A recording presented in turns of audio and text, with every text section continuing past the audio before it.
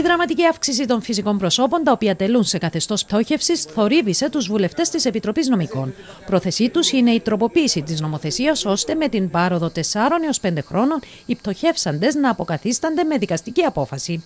Ο πρόεδρος της Επιτροπής, Ιωνάς Νικολάου, τόνισε ότι το υφιστάμενο σύστημα περιορίζει τη δυνατότητα κάποιων να λειτουργήσουν βοηθητικά προς την κοινωνία και να αναβαθμίσουν ταυτόχρονα την ποιότητα της ζωής τους. Θα μπορεί όχι μόνο εκείνος ο οποίος είναι σε πτώχευση να κάνει την ε, διαδικασία ενώπιον του δικαστηρίου, αλλά θα μπορεί και ένας από τους πιστωτές του μετά την αποκατάσταση θα έχει δικαίωμα να λάβει δάνειο από την τράπεζα, νομένου ότι η τράπεζα ε, γνωρίζει και θα γνωρίζει μέσω αυτού του Μητρώου. Το 2009 εκδόθηκαν 1.200 δικαστικές αποφάσεις πτώχευσης, ενώ για το 2012 μέχρι στιγμής 3.500.